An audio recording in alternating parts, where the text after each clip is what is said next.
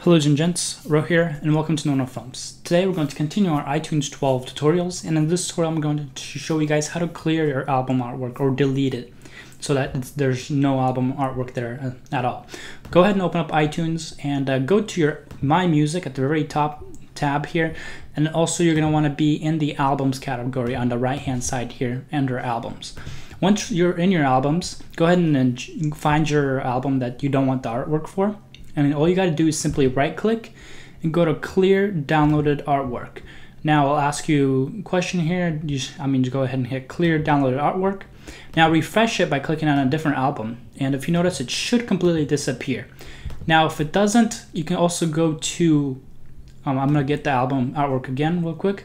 You can also go to, to get info and then go to edit items and then go to artwork and you'll see the artwork here. All you gotta do is right click it and go to delete artwork. And that should remove it as well if the first um, first um, portion didn't work. And then go to get album artwork again to get it back. But that's the basics of how to delete or clear album, artwork. I'm getting those words mixed up. Thank you guys for watching. Catch you guys next tutorial and later. So